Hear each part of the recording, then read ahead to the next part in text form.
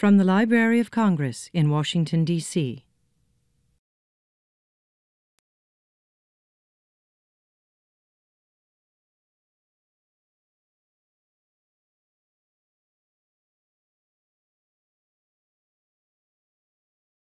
Um, good afternoon and welcome. My name is Mary Lou Reker, and be, on behalf of the Library of Congress's John W. Kluge Center, I want to welcome you to a talk today by Dr. Rachel Shelden entitled Abraham Lincoln and the U.S. Supreme Court and the Politics of Slavery. Now, before I get started here, I want to remind you that we are recording this for the library's website. So, any questions you may ask at the end constitute your permission to keep that question in the recording. So, just be aware of that. Many of you know that the Kluge Center is located right through those doors up here on Capitol Hill, and it strives to bring together scholars and researchers to make use of the collections of the Library of Congress and to communicate with policymakers across the city and around the country, and also to uh, foster a collegial atmosphere in which scholarship can generate more scholarship and deeper scholarship. Um, Dr. Rachel, Rachel Shelden has been an integral member of the community here at the Kluge Center this past year. Her research at the library focuses on the U.S. Supreme Court during the 19th century. Her talk will examine the Supreme Court before the Civil War, and in particular, a conspiracy charge to perpetuate slavery, which was levied by the then senatorial candidate Abraham Lincoln against a variety of members of the federal government. Shelden will re examine Lincoln's conspiracy charge in the context of how the federal political system, and particularly the US Supreme Court, operated in the mid 19th century. Rachel Shelden is an assistant professor in American history at the University of Oklahoma. She is the author of Washington Brotherhood Politics, Social Life, and the Coming of the Civil War she is also co editor of the book, A Political Nation New Directions in Mid 19th Century American Political Theory. She received her PhD from the University of Virginia and, as a Kluge Fellow, researched her future monograph, the third here, on the political history of the U.S. Supreme Court from the mid 1830s through the 1890s. Please help me welcome her, Dr. Rachel Shelden.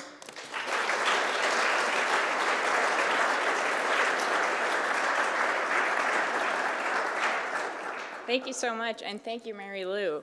Uh, before I talk about Lincoln, which I know you're all here to hear about, uh, I want to thank all of the wonderful folks at the Library of Congress for supporting my project. It has been an absolute privilege to be a Kluge Fellow, uh, and the Kluge Center really is a special place to work. I want to thank all of the staff, and particularly Mary Lou, Jason Steinhauer, Joanne Kitchens, Dan Torello, uh, Robert Gallucci, and Travis Hensley, among others.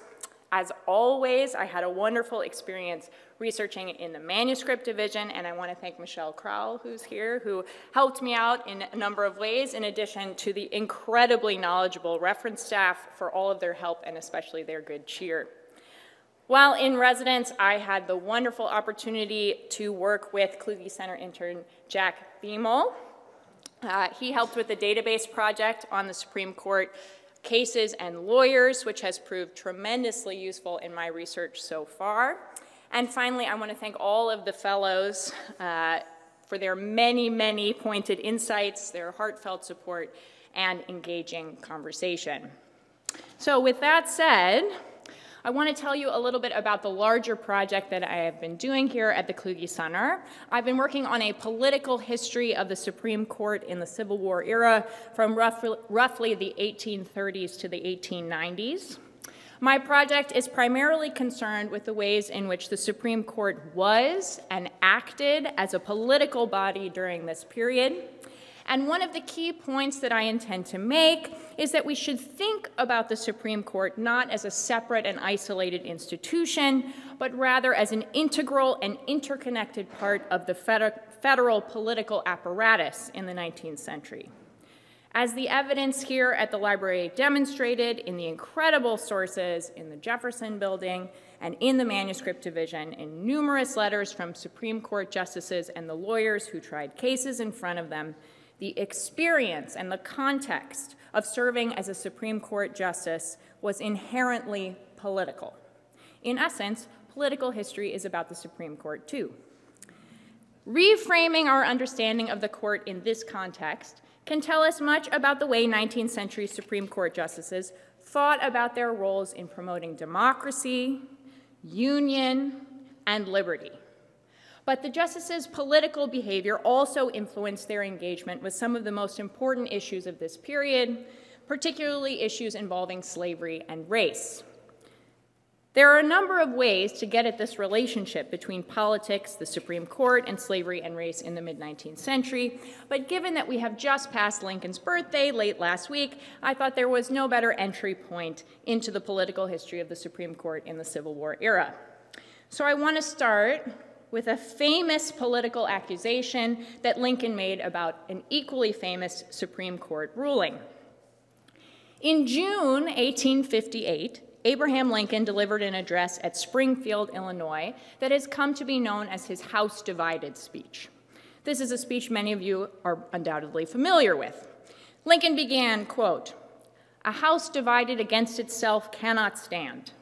I believe this government cannot endure permanently half slave and half free, end quote.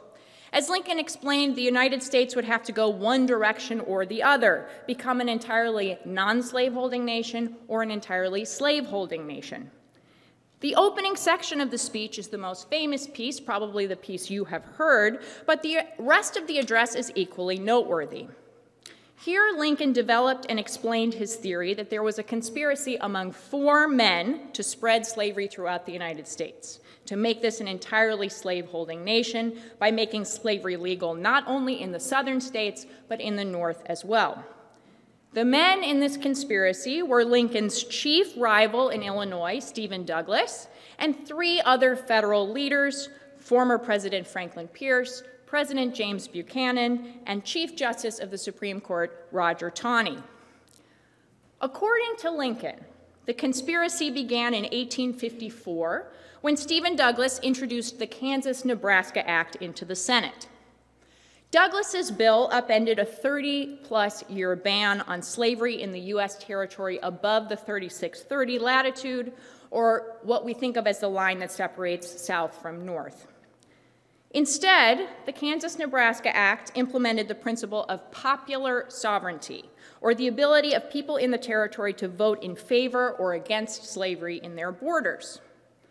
According to Lincoln, three years later, the Supreme Court finalized and compounded the move toward nationalizing slavery in the case of Dred Scott v. Sandford. On March 6, 1857, Chief Justice Roger Taney read the majority opinion in Dred Scott, which denied African Americans the right to be citizens of the United States, and in the most consequential part of this particular ruling for Lincoln's charge, prohibited Congress from restricting slavery in the U.S. territories. Now, in between these two monumental moves, outgoing President Franklin Pierce had encouraged acceptance of the Kansas Nebraska legislation and any potential consequences that came from it. And a mere two days before the court issued its decision in Dred Scott, the incoming president, James Buchanan, pressed his inaugural audience to accept whatever the court might decide. Lincoln finally connected the circle back to Douglas, who was similarly insistent that the court receive its due. In the weeks before Buchanan's inauguration, Douglas had been asked by an Illinois colleague on the floor of the Senate if it was constitutional for the people of a territory to ban slavery from their borders. Douglas replied that this was a question for the Supreme Court. So, with so many overlapping connections, Lincoln exclaimed in his House Divided speech, quote, we find it impossible to not believe that Stephen and Franklin and Roger and James all understood one another from the beginning and all worked upon, uh, worked upon a common plan or draft drawn up before the first lick was struck, end quote. Now, on its face, this charge might seem outlandish. There is no evidence to suggest that these four men met in a room and hashed out a plan for Douglas to introduce the Kansas Nebraska Act in 1854 and Taney to rule in Dred Scott. And in the formalized debates between Lincoln and Douglas that followed, the debates you're familiar with, I'm sure, the Lincoln Douglas debates of 1858, Douglas repeatedly denied having spoken to Chief Justice Taney about the matter. He also pointed out, Douglas, that Buchanan was serving as minister to London when he introduced the Kansas Nebraska Act, making any conference among the four men in 1854, before the first of Lincoln's conspiratorial moves, wholly impossible. So, why did Lincoln make this charge? Or perhaps more pointedly, did Lincoln really believe that these men had colluded in a plot to spread slavery throughout the United States? Some Lincoln scholars have argued that Lincoln genuinely believed this, if for no other reason than his abject distrust of his rival, Stephen Douglas. Other scholars have been less sure, suggesting instead that Lincoln made sort of a fanciful argument for the sake of making Douglas look bad. After all, Lincoln was in a heated campaign against Douglas for election to the U.S. Senate from Illinois, and Lincoln was doing all he could to defeat his rival. In fact, earlier in the year, some Republicans from the East had suggested that maybe they were going to support Douglas for his senatorial bid, uh, and this really freaked Lincoln out and made him think, oh, I really need to show that the Democrats are not in a good way on this issue. The political benefit, therefore, of this conspiracy charge was substantial. And some evidence su sustains this interpretation that Lincoln was simply playing a political game. In the joint debates with Douglas that followed his House divided speech, Lincoln repeated the charge, but he was very careful to acknowledge that he could not prove the conspiracy, that he had only inferred that such collusion had taken place. Regardless of whether Lincoln believed the charge or not, the suggestion of conspiracy among federal politicians made for some great political theater. Much like today, charges of conspiracy in the Civil War era sent a powerful message that energized voters. And this particular conspiracy charge had rhetorical legs because of the plausibility of the argument. Certainly, Southern slaveholders were intent on preserving and promoting slavery in their states and in new federal territory and anti-slavery men in the North had been thoroughly disgusted by Douglas's role in the Kansas-Nebraska Act. Many saw the introduction of popular sovereignty into the territories as a victory for slaveholders. Certainly, the recent tendency to expand the power of slavery made a slaveholder conspiracy sound more likely. And in fact, several Republicans in Washington had already been exploiting this northern fear of a slaveholder conspiracy by the time Lincoln delivered his House divided speech. But Lincoln's description of the conspiracy was perhaps even more effective because it had the soundbite specifics that others had lacked. He fleshed out the details by naming the four co conspirators who were directly responsible for this Stephen and Franklin and Roger and James.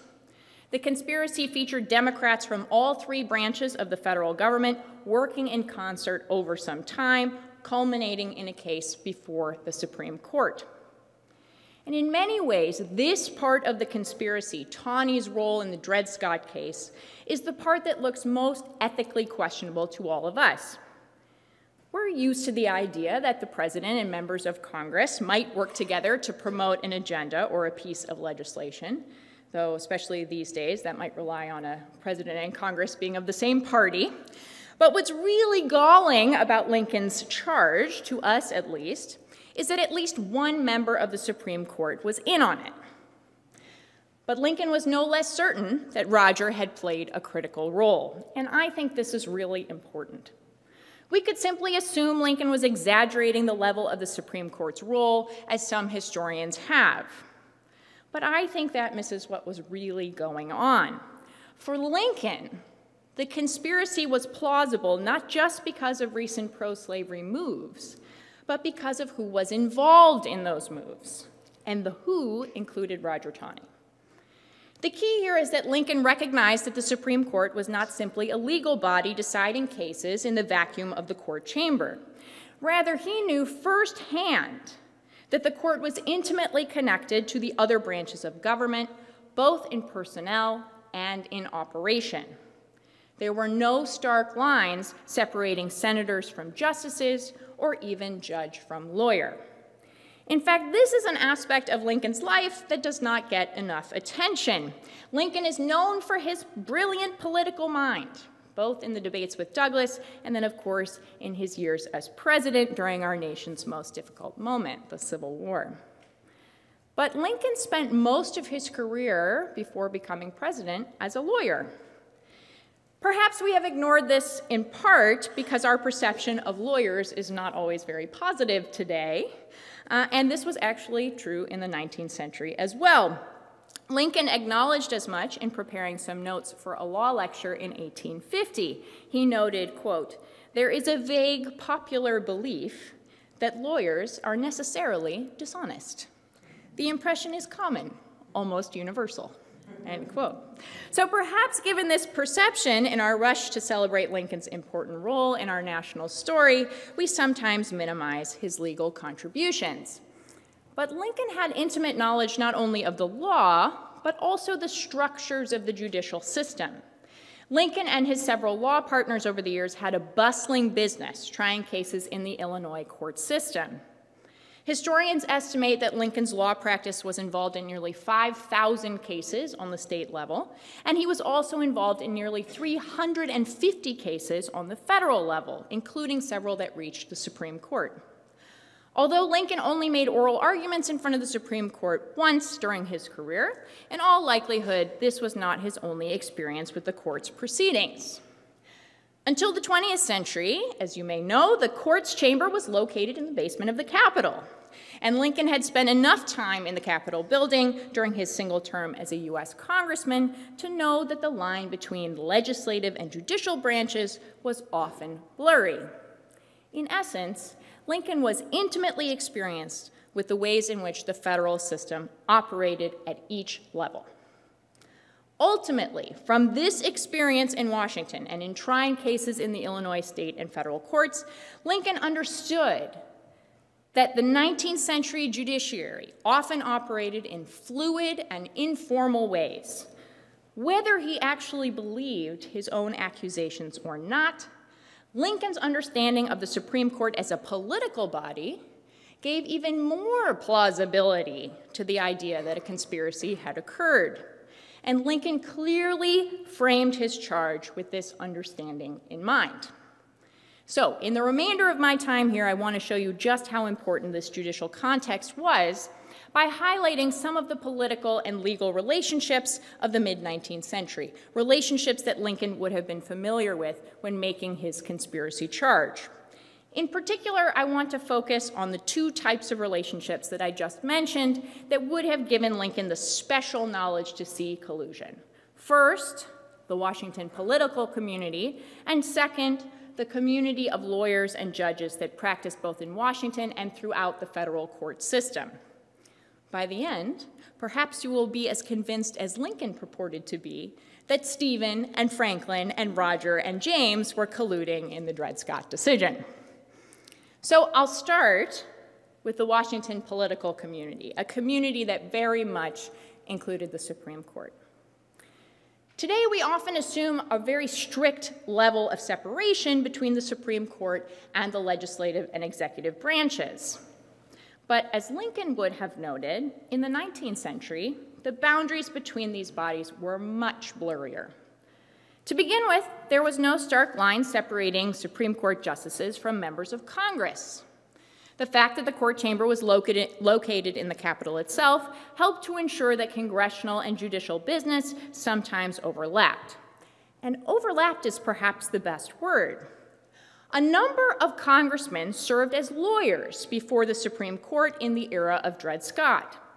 In fact, congressmen were paid so little for their legislative services that it was a happy coincidence if a sitting senator or representative could take care of some profitable legal business in front of the court while in Washington.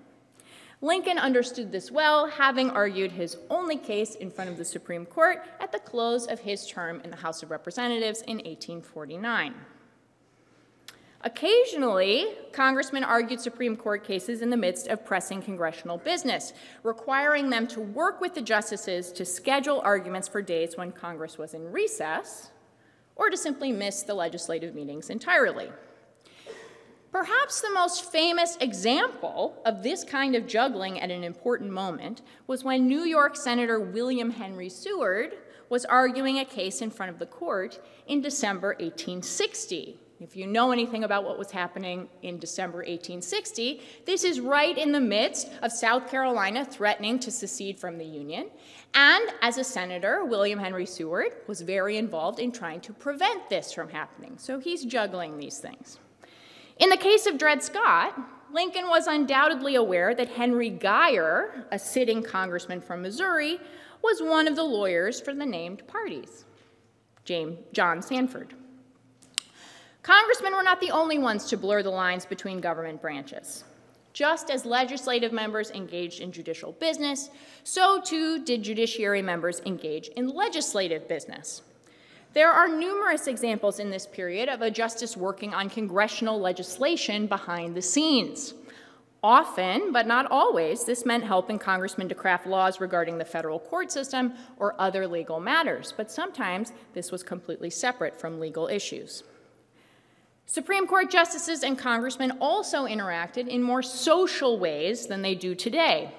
In the 1840s and 1850s, Supreme Court justices often lived in boarding houses and hotels throughout the area between the White House and the Capitol building.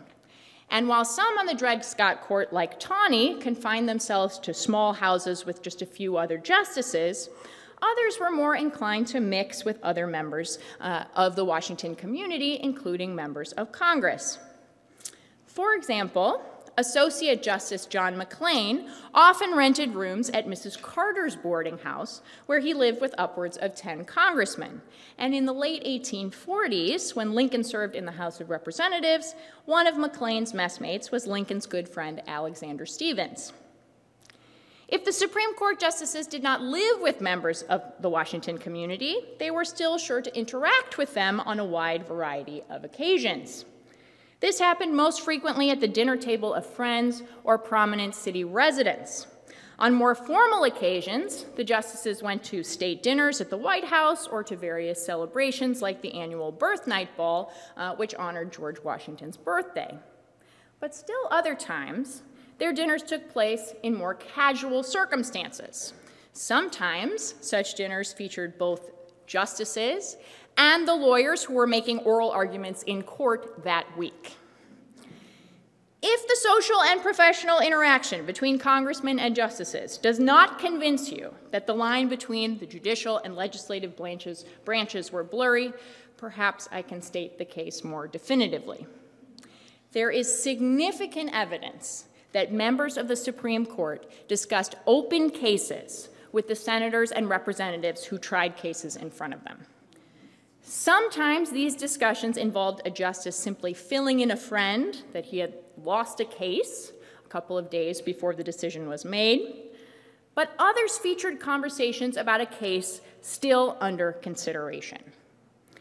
Lincoln did not have personal experience with this kind of conversation. At least there's no evidence to suggest that in the records. But he certainly would have been aware of this kind of thing from his time serving in Washington or heard about it from friends in the House who were regular court attendees. So, this is one kind of relationship, this very fluid relationship between the legislative and judicial branches. The relationships between judges on the Supreme Court and sitting presidents in the 19th century were also far more intimate than we might expect. One reason for this is that justices did not have the same kinds of credentials that they do today. Supreme Court nominees had to be lawyers, but there were very few law schools in the 1850s. Most American lawyers had received their formal training by serving in an apprentice role for a more experienced lawyer. Though you did not have to do this, and Lincoln himself had almost no legal training. He'd not even apprenticed. He'd learned the law primarily through reading Blackstone's commentaries and by trying cases. Moreover, justices did not typically enter the Supreme Court from a previous position on the bench. There were no feeder courts from which presidents could find a farm team of suitable judges, as they often do today. Of the nine justices who served on the Dred Scott Court, only five had experience as judges before they joined the Supreme Court. And of those five, only two were serving as judges when they were nominated to the court. So, as a result of this relatively informal legal and judicial training, political experience was often the best indicator for who would join the Supreme Court. 19th century presidents typically made Supreme Court nominations based squarely on partisan re reasoning, rewarding political friends with a job in the judiciary. Among the seven Dred Scott justices who were not serving as judges when they were nominated to the Supreme Court, Two were serving in the executive branch, one was a U.S. congressman, and a fourth held a prominent state position as lieutenant governor of Virginia. These men were rewarded for their political commitments, not their judicial service. Roger Taney himself had received his nomination for Chief Justice from President Andrew Jackson in 1836 as a result of Taney's support for Jackson's banking policies. Taney was certainly a qualified lawyer, but he was also a strong Democrat and a confidant of Andrew Jackson's. In 1846, James K. Polk had actually toyed with the idea of making James Buchanan a Supreme Court nominee while Buchanan was serving as Secretary of State. Buchanan was a strong Democrat, but he'd also been giving Polk some headaches in the cabinet, and so he thought, Polk thought, putting Buchanan on the court would make perfect sense. It would give him an ally, and it would get him out of the cabinet. Ultimately, Buchanan decided against accepting the nomination, but the possibility was there, and Buchanan's political experience was a positive in Polk's considerations. The Supreme Court might actually have looked slightly different and decided Dred Scott slightly differently had Millard Fillmore been successful in nominating one of his partisan friends to the court in early 1853. Fillmore was a Whig, and he hoped to get his friend and former Senate colleague, George Edmund Badger of North Carolina, on the court to replace Associate Justice John McKinley, who had died the July before. But the Democratic Congress rejected Badger, and the next president, Franklin Pierce, successfully nominated John Archibald Campbell of Alabama. Although Badger was a Southerner, following the decision, Badger came out against the court's restriction of Congress's right to legislate for the territories in the case of slavery. So, had he been on the court, things might have looked very different. So, although partisanship clearly mattered when making nominations, what's most important here is that confirmation as a Supreme Court justice did not actually bring an end to the close relationships between president and judge. Taney, for example, was close enough with Jackson to actually provide him with constitutional advice during his presidency, and he even helped the retiring president write his farewell address in 1837. Nor was Taney alone. Fellow Associate Justices on the Dred Scott Court, Peter Daniel and John Catron, similarly offered political advice to their friends, President Martin Van Buren and President James Polk, respectively. Justices also routinely advise presidents and their cabinets on judicial matters, from who should fill court vacancies to navigating sticky legal problems such as extradition. Lincoln may not have had firsthand knowledge of these conversations, but he would have known plenty of federal politicians who did.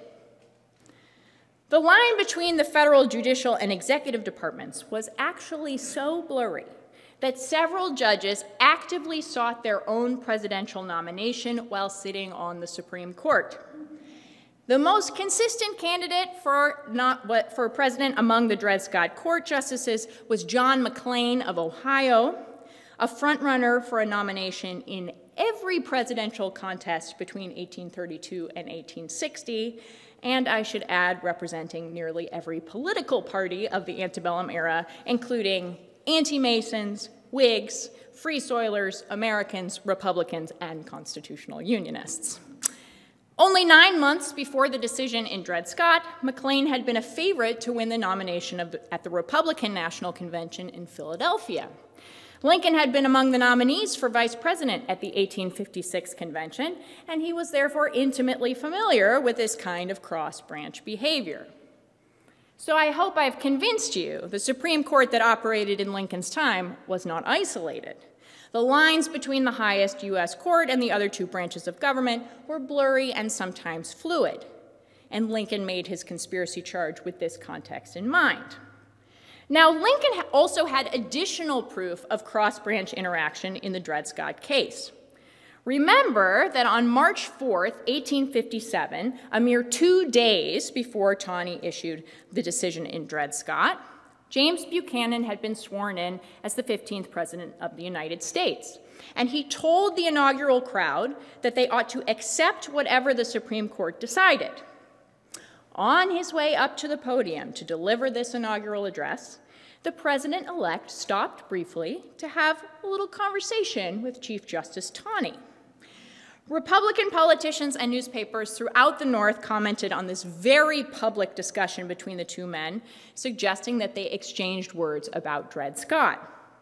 Lincoln did not know what was said, and neither do we, but it certainly looked like collusion. And with Lincoln's knowledge of the in intimacies between the various branches of government, the events on Inauguration Day may have looked like a smoking gun. What Lincoln didn't know is that this short conversation between Chief Justice Taney and the president elect was just the tip of the iceberg. In the weeks before Buchanan's inauguration, he had exchanged several letters with one of the associate justices, John Catron of Tennessee. Catron had been keeping Buchanan apprised of the court's deliberations over Dred Scott, but his correspondence went beyond just sharing information. Not all of the justices had yet decided how they were going to rule on the Missouri Compromise issue. That's the issue regarding whether Congress had the right to legislate for the territories regarding slavery. Among the undecideds was Associate Justice Robert Grier of Pennsylvania, a friend of Buchanan's. Catron wrote to Buchanan and asked him to, quote, drop Grier a line, end quote, to suggest he fall in with Taney's majority position. Here, then, is one link in the conspiracy that Lincoln had anticipated even without direct knowledge of the Buchanan Catron correspondence. You might say that Taney and Buchanan were in on it together. We don't have any solid evidence that Pierce or Douglas would have discussed the details of Dred Scott with members of the Supreme Court, but their knowledge of the case may have stemmed from another part of the legal community the relationship between lawyers and judges throughout the federal system.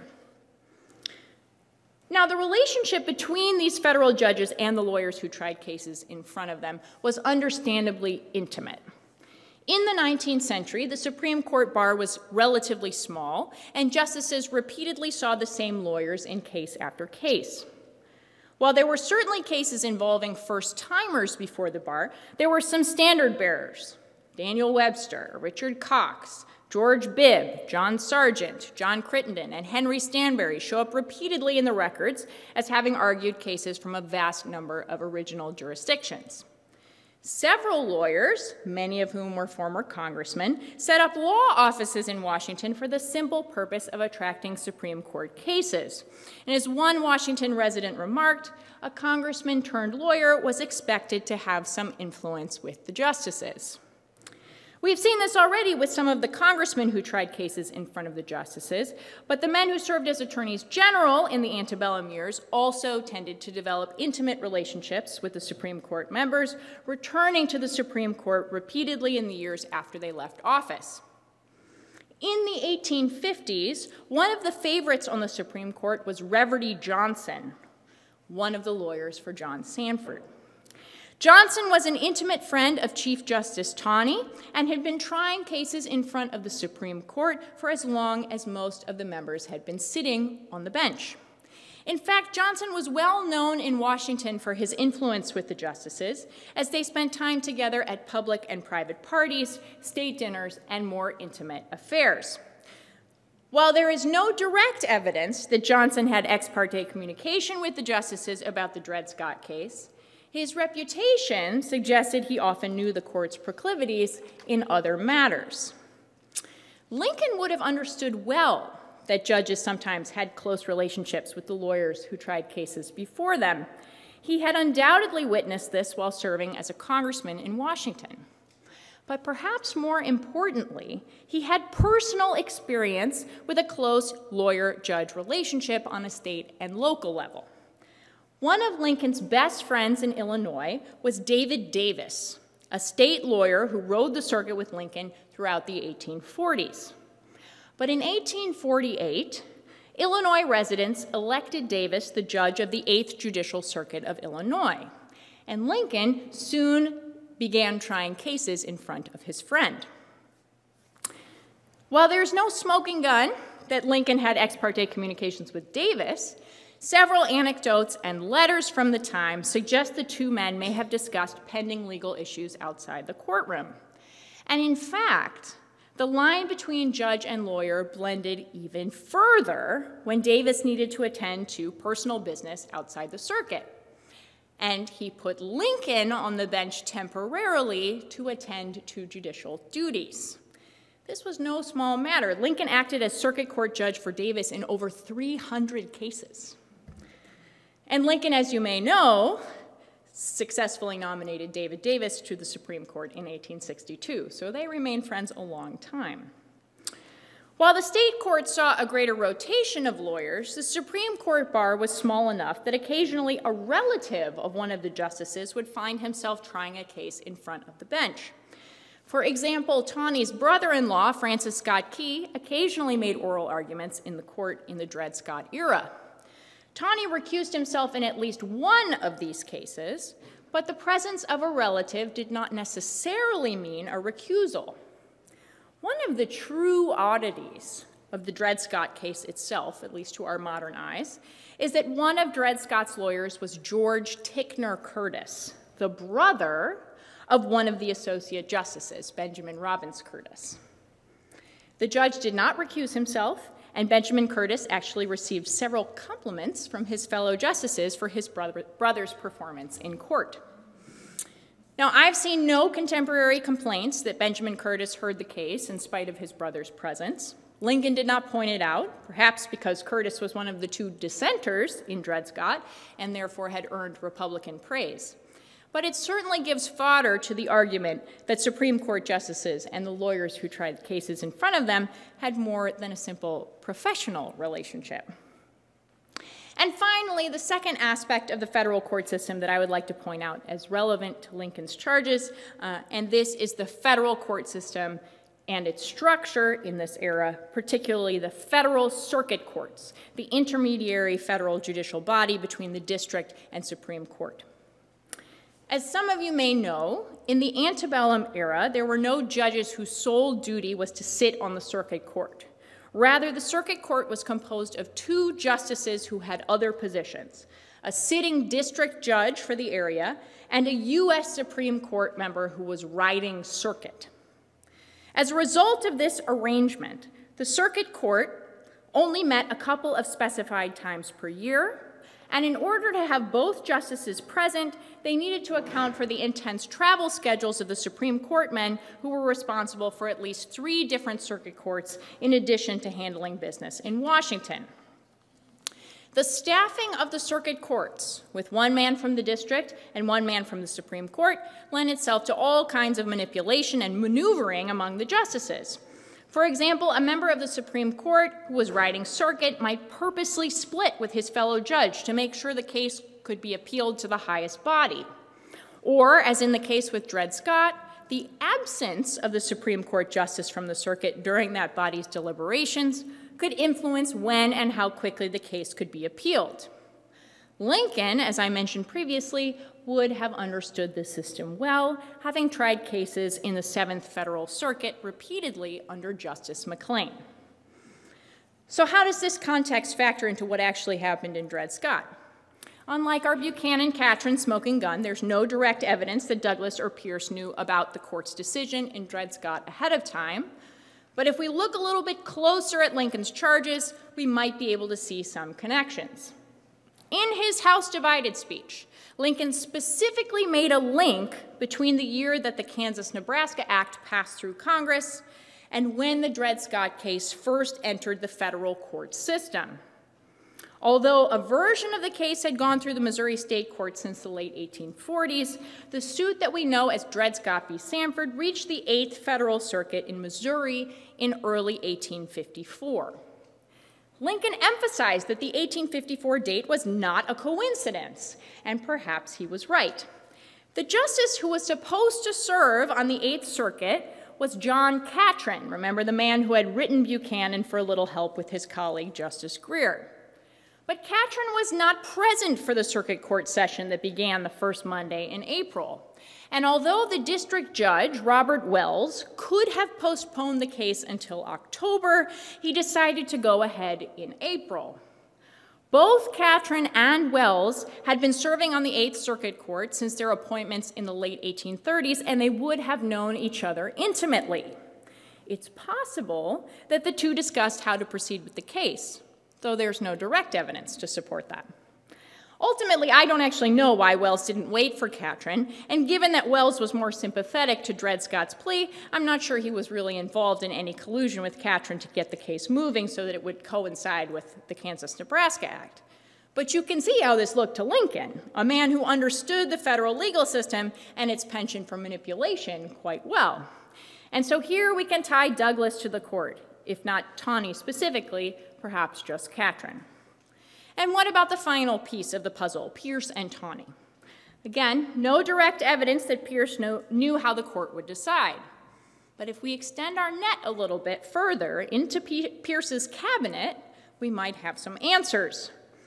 You might remember that the Supreme Court originally heard the Dred Scott case in 1856, while Pierce was still in office.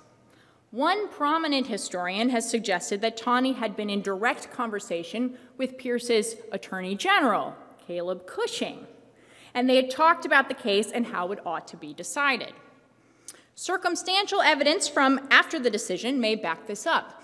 In November 1857, after the case was published in Howard's reports, Taney wrote a letter to Cushing thanking him for his support for their decision. Cushing, who was from Massachusetts, was among a handful of Northerners who had expressed their approval of the Dred Scott decision. But he may have known ahead of time. And certainly it would not be far fetched to assume he discussed the matter with Pierce. And there you have it Buchanan in the court, Douglas in the court, and Pierce in the court. You can see why Lincoln might have believed this conspiracy actually happened. Now, I don't want to give you the wrong impression. I'm not actually suggesting here that these men really did conspire to perpetuate slavery. The evidence I've sketched here probably wouldn't hold up in court today or in the 19th century. But I hope that I've convinced you that even if the Dred Scott conspiracy may not have happened, it was certainly possible that it could have happened given the realities of federal and particularly judicial politics in the 1850s. Of course, there are a number of important implications for how the judicial system operated in the Civil War era that go beyond Lincoln and this conspiracy theory, and I'll just point out a few here. First, we have to stop thinking about the Supreme Court as separate from the rest of the federal government in the 19th century. The judicial, executive, and legislative branches operated in cooperative and overlapping ways.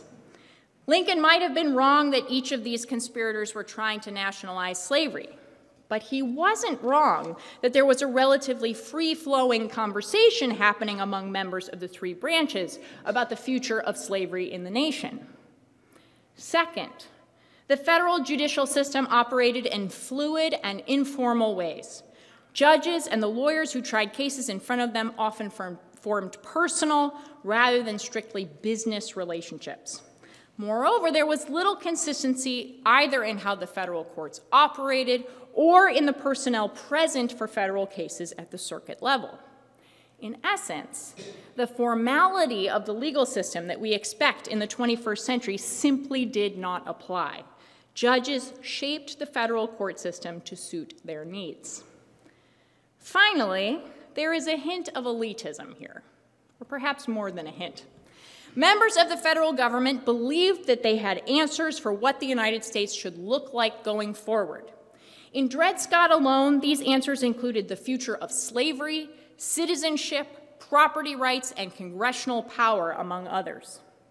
The people who were making these decisions were at the highest levels of government, making policy in private conversations and deals. This was not the popular democracy we think of in the age of Jackson, public opinion simply did not factor in. And this is the last piece of the puzzle that we haven't really talked about. How was Lincoln's conspiracy charge actually received? The evidence here is mixed. While some partisans encouraged Lincoln to continue making his conspiracy charge throughout his campaign against Douglas in 1858, Lincoln had largely dropped the matter by the third joint debate. Some scholars have taken this as evidence that the voting public in Illinois thought Lincoln was de- delusional, or at least unconvincing. And perhaps he was. Even if Lincoln had intimate experience with the Supreme Court's political role, his audience might not have. The extent to which average Americans understood the federal court system and how it operated is an open question, one that I hope to explore further in my research. Thank you so much.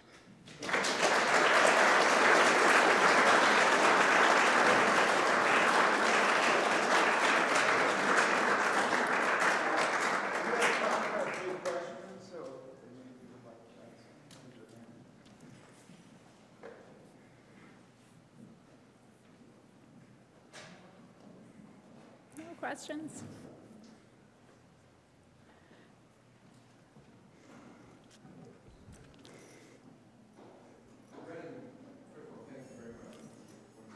Thank you.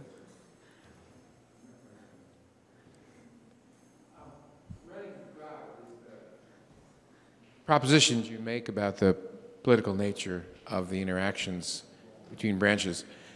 Uh, the suggestion is that that was then and not now. And I wondered if you would, uh, I mean, if, for example, your model is that that's how it was then. Yeah. And it is pristine and pure now. Oh, no, well, no, no, no. But if it were, then I wonder how the transition took place. And if it's not, how far along on the continuum is it? That's a very good question. Um, I'm going to I'm going to be a little bit uh, hesitant to answer because I'm a historian of the 19th century, and the 19th century is quite different from the 21st century. Um, certainly, a lot of this stuff was happening well into the 20th century. You still had, for example, Supreme Court justices running for president in the FDR era. Um, but there clearly was a change at some point. One reason for this is probably um, the actual implementation of law school as the sort of starting ground for all lawyers. Um, some of it has to do with sort of our growing concern about the Supreme Court and whether it should be making certain kinds of decisions, uh, activist judging, and that kind of stuff. Uh, I think there's a lot more political behavior that happens on the Supreme Court today, but that's more as an observer than as a historian.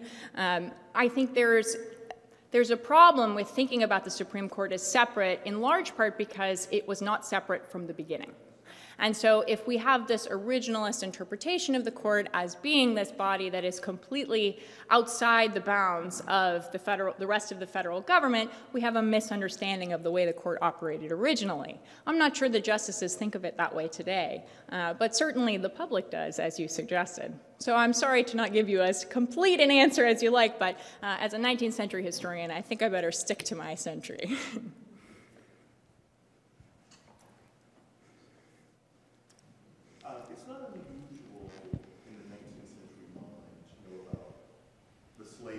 Mm-hmm. idea that there was a conspiracy in the nation involving branches to maintain slavery. That's right. But the problem with any conspiracy is to think about the execution.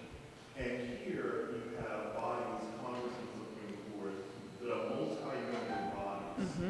So assuming you've identified these four leaders of the conspiracy,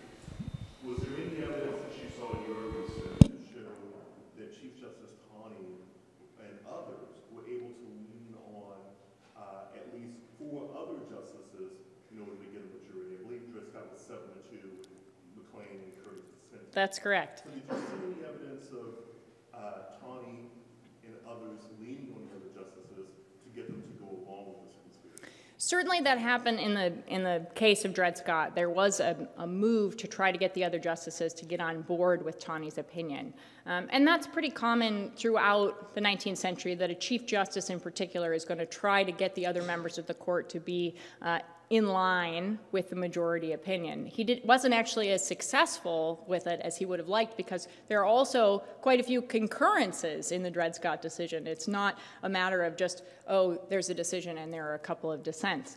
Um, there, there is not a lot of smoking gun evidence about Taney getting involved with Congress and putting pressure on Congress, uh, but there were definitely conversations happening. So it depends what you think of as pressure.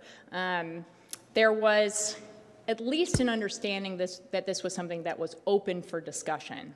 I actually think Taney mistakenly believed that this would actually quiet all of the furor that was going on in the rest of the country about the slave power conspiracy. He thought, oh, the court's going to rule and shut it down, and they're not going to talk about it anymore it did the exact opposite. But that doesn't mean his intentions weren't in this one particular place. Uh, and I think that's just a matter of him thinking that the Supreme Court was as important as he expected it to be in making people listen to what was going on.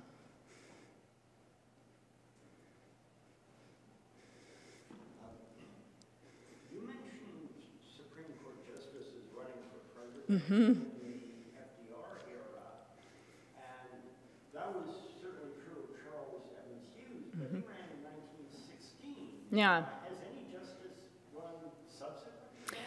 Not actively. Um, this is not my specific area of expertise, but a lot of historians of the Supreme Court in the 20th century have said Hugo Black was interested in running. It's much more behind the scenes than in the 19th century, where it would have been much more obvious that someone like McLean was running. But certainly there were justices who were interested in running for president and working behind the scenes to try to make it happen. Just, um, you mentioned that Lincoln appointed one Supreme Court justice in 1862.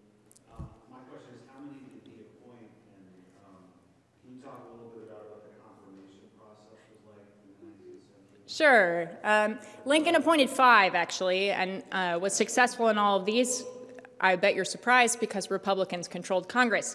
Uh, the, the process was actually very partisan in the 19th century, also. Um, some of the best examples of this are John Tyler, who was president in the early 1840s. Uh, we think of him as a man without a party. He was the vice president uh, for William Henry Harrison, and he was supposedly a Whig, but the Whigs hated him. And he tried to get nine Supreme Court justices. Uh, he tried a couple of times with two different guys, uh, and he only was successful with one. Uh, it did not go well, and one of the justices' positions was open for two years while he was waiting for a nomination. And the very best example of this is Roger Taney himself who was put up for Supreme Court justice in an associate justice position, position uh, by Andrew Jackson in 1835, was basically not confirmed uh, by the Senate at this time. It was a hostile Senate, uh, mostly people who were opposed to Jackson. The next year, there's turnover. We get a new Democratic Senate, and he puts Taney up for Chief Justice and is confirmed. So that the, the original uh, uh, position that he was put up for, Associate Justice, stayed open for over a year while they were waiting to fill that. Uh, so it is a very partisan process and was in the 19th century. Other questions?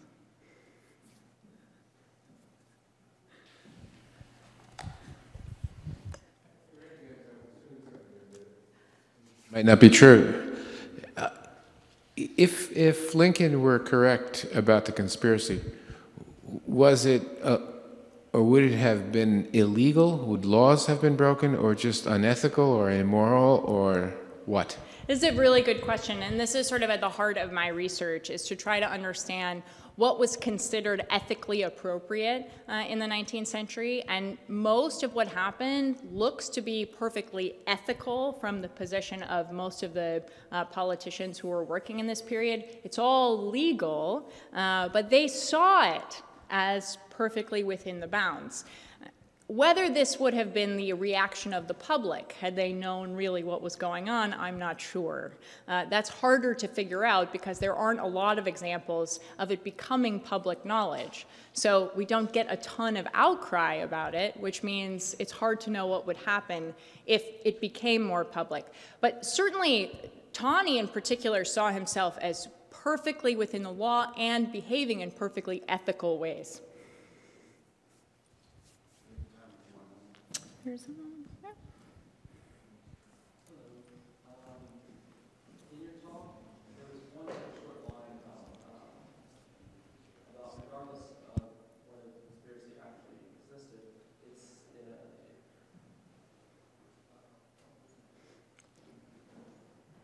uh, regardless of whether the conspiracy actually existed, it seemed, the, the existence of the conspiracy seemed, uh, seemed plausible and therefore had, had, uh, had political value coming from, some- coming from a politician who was running for, uh, for a position. I'm wondering, that to me is the more interesting part about the, about the political value of the plausibility regardless of the underlying facts. Uh, Wondering if you could talk a little bit more about what the political value was and wasn't and how that played out, um, and if you want to make any connections to, uh, conspiracy theories today.